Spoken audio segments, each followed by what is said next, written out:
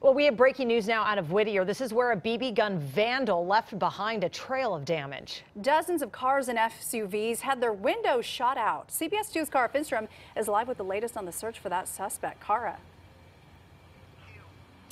Jasmine Suzanne, it appears someone drove through the streets of Whittier last night with a BB gun, shooting up one car after another. Here you can see two of the cars that were struck, their windows pierced and shattered. Whittier PD tells us at least 50 cars were damaged like these.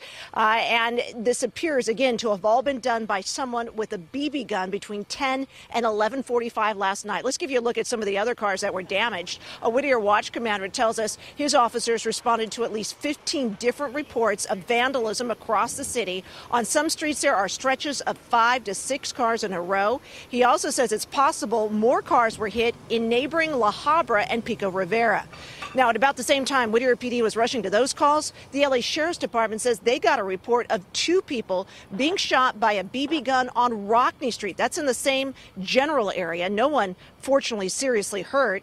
Authorities are trying to confirm whether all of this is related. Earlier this morning, a man who lives here on Southwind Drive pulled up. His back window had been shot out. He tells us how he first realized both his cars and others on his block had been vandalized.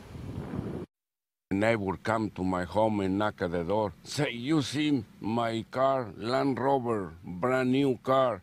Pretty bad. Make pretty bad. Never before happened this, you know. This is a nice neighborhood and never before thinking this happened.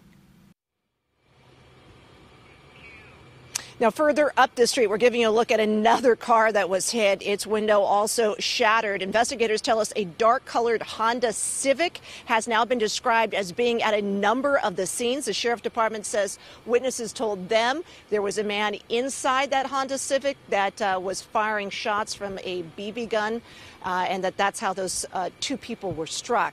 So, Jasmine, Suzanne, all of this coming together right now. The Whittier Police Department is asking anyone who might have some security camera video or some ring video that captured some of this overnight to please call them uh, because that will really help them with tracking down a suspect.